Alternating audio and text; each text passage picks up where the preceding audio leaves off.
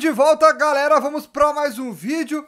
Uma atualização então sobre o caso Cavani, né, mano, no Grêmio. Por quê? Porque hoje é segunda-feira. Hoje era o dia que era para estar chegando aí Edson Cavani aqui no aeroporto Salgado Filho em Porto Alegre, aqui onde supostamente Cavani vai estar sendo do Grêmio dentro de alguns dias. Ou melhor, era para ter sido hoje, né? Mas então, galera, a gente tem novidades nesse assunto. A gente tem o lado do Grêmio, a gente tem o lado do jornalista, que cravou e continua cravando que ele vai sim ser do Grêmio. Ah, o jornalista Sebastian Slur, ele trabalha na Rádio Continental lá da Argentina, que, ah, cara, agora, há 50 minutos atrás, acho que foi, uh, ah, para ser mais exato, às 18 horas, há uma hora atrás, às 18 horas e 24 minutos, Sebastian Slur confirmou que ele vai estar sendo fechado aí com o Grêmio. Vai estar sendo contratado pelo Grêmio. E eu vou mostrar para vocês, para vocês não falarem que isso aí é boato meu, não, cara. Tá no Twitter da rádio. Vou botar aqui na tela para vocês agora ver. Ó, agora, que é, tá, vou botar em português, tá, para vocês não para não passar vergonha tentando ler em, em espanhol. Ó, agora, Clos Continental.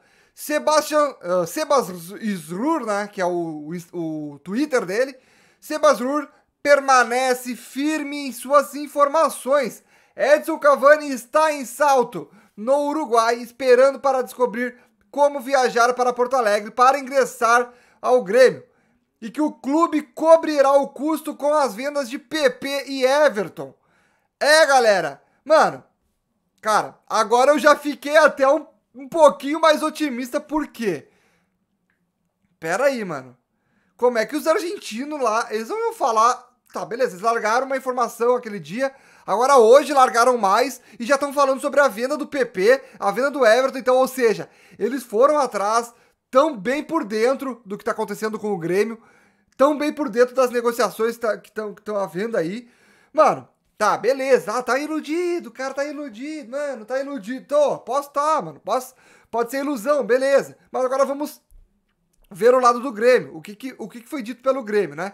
O, que, o, o Nestor Rein, né? O diretor jurídico do Grêmio, ele destacou que a especulação de Edson Cavani no Grêmio é um desserviço para o clube. Segundo o dirigente, uh, entrevista ao programa Bom Dia da Rádio Guaíba, a direção do tricolor jamais cogitou, ou pensou, ou sondou e nunca teve a curiosidade de mandar alguém examinar a possibilidade de uma contratação. Uh, Nestor Rein ressaltou que Cavani é o sonho de qualquer clube, em especial do Grêmio, mas não vê a possibilidade de contratação como possível neste momento. E abre aspas. O Cavani é desejado por um time dos Estados Unidos há mais de 60 dias. Esteve em negociações com o Benfica. É cogitado pelo Atlético de Madrid e pela Juventus. O salário dele com encargos é de 6 milhões de reais por mês. É mais ou menos 4 Gabigols, que é o jogador mais bem pago do Brasil. Isso seria toda a verba que recebemos da televisão para um jogador.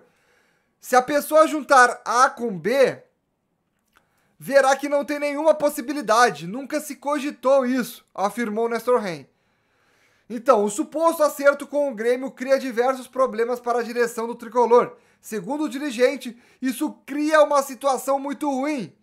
Eu entendo a situação, mas até agora tem gremistas achando que a direção está enganando, que ele virá, que ele está por aqui, ressaltou a não ser que haja uma operação ultra secreta feita pelo presidente somente com uma pessoa ou que eu não acredito.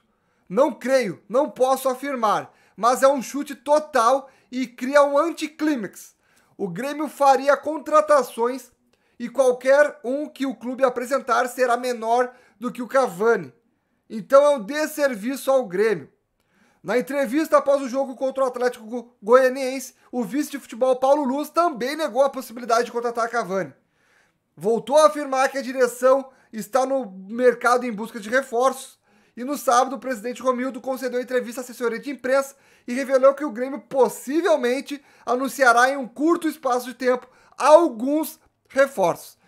Então, galera, dentro disso tudo que a gente falou aqui, eu gostei de uma coisa que ele falou.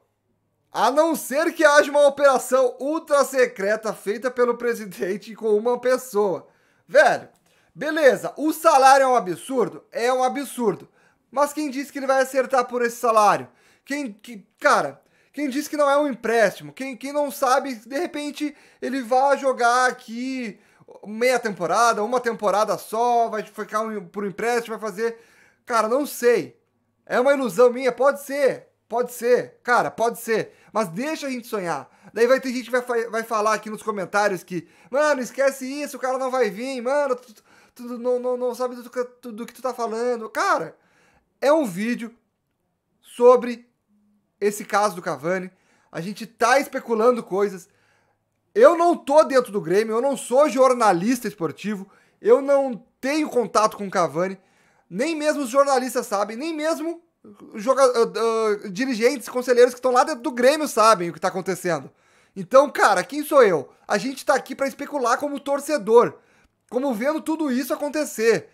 E tipo, Cara, eu acho que de todos os clubes, como eu já comentei em outros vídeos, de todos os clubes que já foram citados em contratar o Cavani da América do Sul, o Grêmio é o mais forte, o Grêmio é o mais potente, o mais com, com mais potencial de contratação aí do Cavani. Por tudo, por tudo que, que já falou. Por ser perto da família, por ser um time copeiro que já andou ganhando Libertadores, está sempre brigando pelo título da Libertadores e é um jogador que sonha jogar a Libertadores da América. A gente tá com esse sonho ativo? Estamos, cara. Eu tô ainda, pelo menos. Comenta aí se vocês estão também. Vai no meu Instagram também. Responde stories, sei lá, mano. Comenta, dá like, me segue lá. Vamos trocar uma, uma ideia. Que eu, te, eu já falei pra vocês, galera. Eu troco bastante ideia com vocês lá pelo meu Instagram, MarlonNTG. Então, chega lá, me segue também. Uh, e galera, em breve eu vou trazer mais informações sobre isso, que tá muito nebuloso ainda. É claro, é óbvio, é óbvio que, que o Grêmio não tá querendo falar sobre. Uh, de, tipo, dizer que o cara vai vir, que. Pô, mano, se ele se fosse uma coisa certa e que era uma, uma surpresa, que Cara, era para pegar todo mundo de surpresa. Mano, o Grêmio ia esconder, cara. De fato, velho. De fato. E se de repente agora estão começando a conversar, não sei, cara. Pode ter, pode ter, pode ser, pode ser que ele venha, pode ser, cara. Pode ser que não, pode ser que não. Mas aí a gente vai ver quem é que eles vão contratar, porque falaram que tem uma contratação bombástica aí que eles vão anunciar para ser manchete nacional. Tá certo que se fosse o Cavani ia ser uma manchete internacional. Mas vamos dar uma olhada no que, que vai acontecer nos próximos capítulos. Ah, vai ser meme, ah, vai ser. Uh, tu, tá, tu tá sonhando alto. Cara, tamo, tamo sonhando alto. Já abriram esse. Uh, como é que é? Plantaram essa semente na gente, velho. Agora aguenta, agora a gente vai, vai até o fim. Vamos ver até ele assinar o contrato do próximo clube que ele for vestir. Até, até ele não vestir uma camisa de outro clube que não seja do Grêmio. Até lá a gente vai, a gente vai ter bastante especulação aí, mano. A gente vai ver o que, que vai acontecer nos próximos capítulos. E, cara, se fosse, tipo, só eu falando, ah, não, eu tô falando isso que. Mano, é, eu, é o Marlon do canal no tag ali, o cara o, tá falando que o Cavani vai vir. Mano, não, não sou eu. É um jornalista de grande expressão, de uma rádio de expressão da Argentina que cravou isso, tá falando do Grêmio, tá falando de venda do PP, venda de Everton, estão investigando bastante e estão cravando, cara, que sim, ele vai vir pro Grêmio. Agora, se eles não vierem, se eles não vierem, se não vier, e, cara, nunca teve uma conversa realmente, bah, mano, daí a, a credibilidade dessa rádio e desse jornalista vai lá pra baixo, mano. Então vamos ficar de olho. Rádio Kloss Continental e o jornalista Sebastian Isrur. Fechou? Manos, deixa o likezão aí no canal, no vídeo, na verdade. Se inscreve para vocês não perderem nenhum vídeo. Lembrando que eu vou estar trazendo bastante vídeo, não só do Grêmio, mas vídeos de futebol em geral, que eu sei que vocês curtem bastante. Então, se vocês gostam de futebol, notícias, curiosidades, lances, mano, se inscreve aí que vocês não vão se arrepender. Fechou? Um forte abraço, galera! E vamos que vamos! É o Grêmio, não adianta. Tamo junto, forte abraço e Te espero, hein, Cavani. Te espero, hein, mano. Não fui hoje no aeroporto porque tava chovendo, hein. Só por isso. É nóis.